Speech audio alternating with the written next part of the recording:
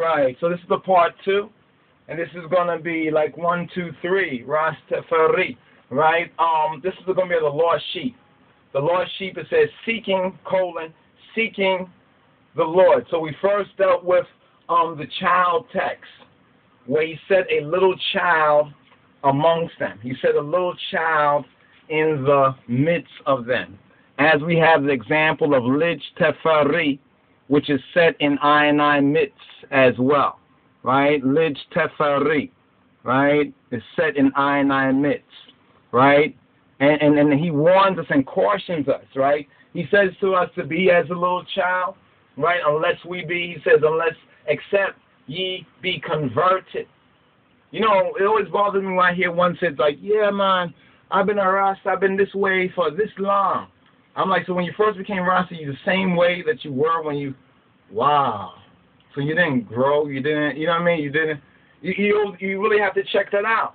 You know, then you really have to remember what it says. It says that the word is that seed, right? And when anyone hears the word of the kingdom and understand of it not, don't really understand really the the real implication of, of, of, of the word on oneself and their brother man. You know what I'm saying? And therefore in the community then the wicked one cometh along and snatch out of them that which was sown, snatch out that word.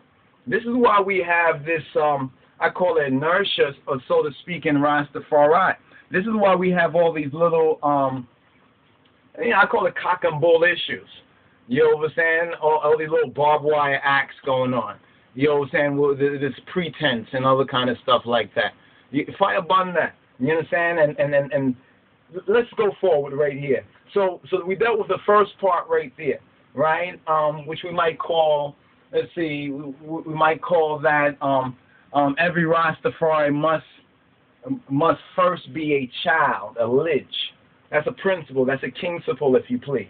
Now we're going to talk about the lost sheep section.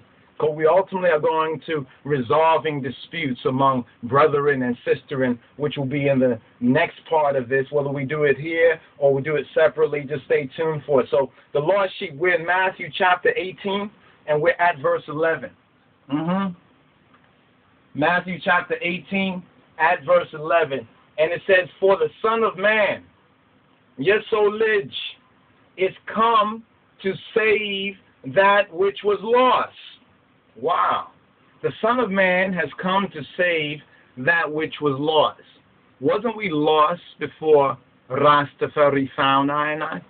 You know saying? Therefore, you know saying? Isn't that our role and responsibility with those who are willing to be found? You know saying? It is. But you hear someone say that, you know, um, you know, like it's a kind of selfish, it's like a worldly thing. You know saying? That has crept in. Or rather, that has not been removed you know what I'm saying, through the word, the sound, and the power. It says, For the Son of Man is come to save that which was lost, the lost sheep, right, of the Beit Israel. And it says in verse 12, it says, How think ye? How do you think? Christ is saying, like, what are you thinking? You know what I'm saying? For brother, you know, brethren, what, what you thinking, man? Sis, sister, what you thinking? If a man have a hundred sheep and one of them right? One of them be gone astray.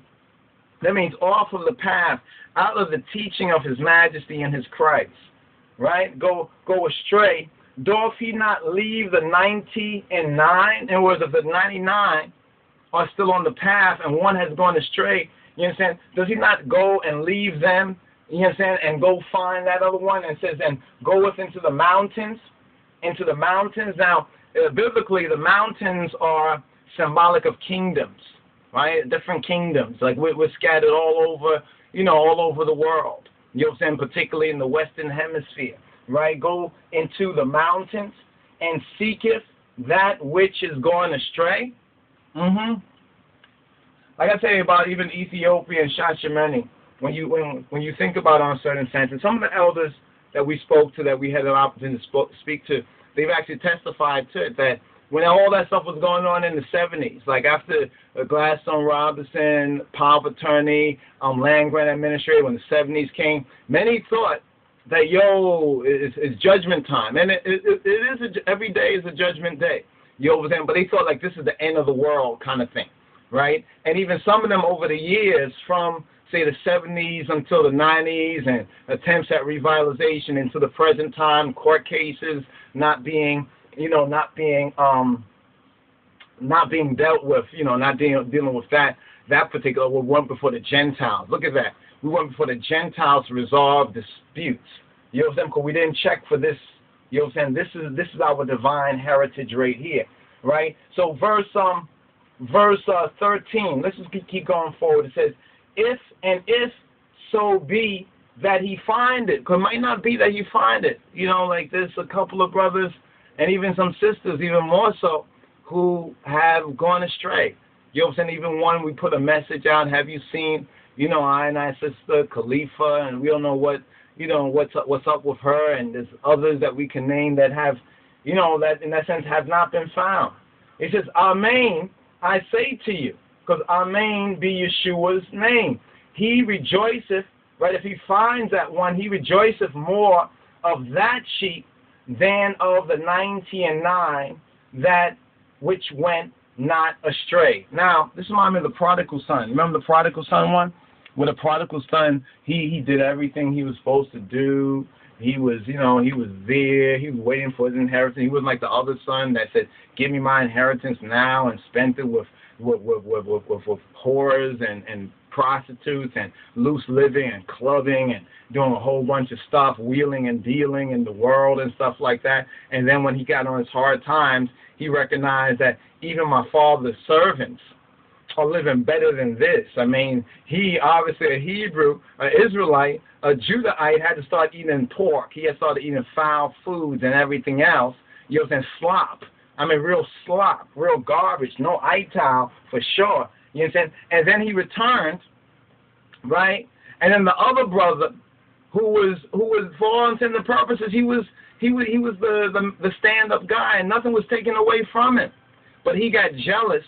You know what I'm saying? He got jealous of the other one. You see, that means you remember the parable of the sower in Matthew chapter 13, and it talks about something right here that the Holy Spirit says to include in this message. And in chapter 13, after the first one, we dealt with the first message about the kingdom, if anyone hears the word. Then it says, But he, in verse uh, 20, that receiveth the seed, the seed, the word, into stony places. Remember, we're talking about that stone and this Christ that breaks down that wall of separation, right?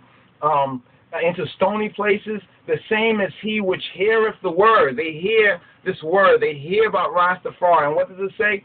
And anon, A N O N, with joy receiveth it. So what does anon mean? Anon means immediately, right? Anon means at once, at once, bandafta, bang. What do what do Yahweh He, he like quickly, like you hear about Rastafari, Black King, Black God. Yes, I, you know, receive it with, with, with quick fast, with joy, right? People say, well, there's nothing wrong with that. We're supposed to have joy, yes. But it says, yet, Yeshua says, yet hath he not what? Yet hath he not root in himself. Wow. He doesn't have he don't know himself. Or she don't know herself. They don't have no root, right? No root in themselves.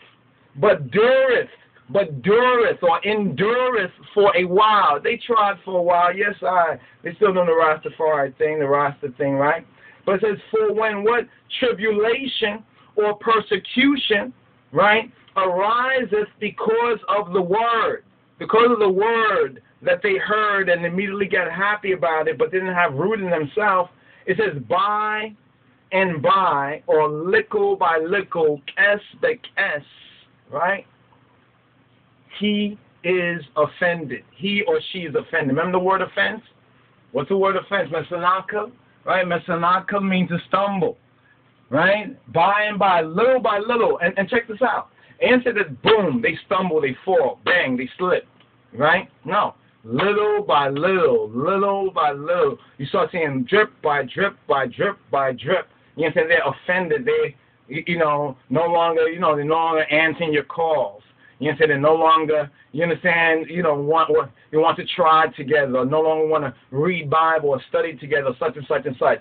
But when you know this word, you, you could pray for them. You don't you don't want to feel no bitterness. You don't want to feel any of that that old man shit. you know, what I mean, you don't wanna you wanna like like like excrete that. You understand? You trust in His word and, and you pray for them. You saying? But you keep trotting, you keep moving forward. All right. So it says in verse 14, once again, Matthew chapter 18, verse 14 says, Even so, it is not the will of your Father. It's not the will of your Abba. It's not the will of my Abba, right? It's not Abba's will. What's not our, our Abba's will? Which is in heaven, that one of these little ones, that one of the little ones, right, that one of the little ones should perish. It's not his will. You know? So little ones, you what Be strong. You know saying? Little ones, if you're still reading your Bible, keeping the Shabbat, things a little difficult still, hold that faith. Keep that peace of Yeshua. Keep that shalom. You know what I'm saying? Keep doing what you know is right, what he teaches you right, what you can trust and verify by his word and the true and living life. But the key thing about this particular point is the main mission or ministry is to save the lost. You understand? In the order of Yeshua, not in your way. Remember, the definition of, of iniquity, right? And iniquity means lawlessness. Lawlessness is rebellion. You understand? The word bamarinya is amita, right? Amita is is is doing what seems to be right or what's right in your own eyesight as though we have no King of Kings and his Christ. You saying? As as though the the triune God, the one God, you saying, is not there, is not the one that has given us his instruction, the one who has not shown us his way so graciously in the person of his imperial majesty, Kedamawi Haile Selassie, Haile Selassie the first. Shalom, Rastafari.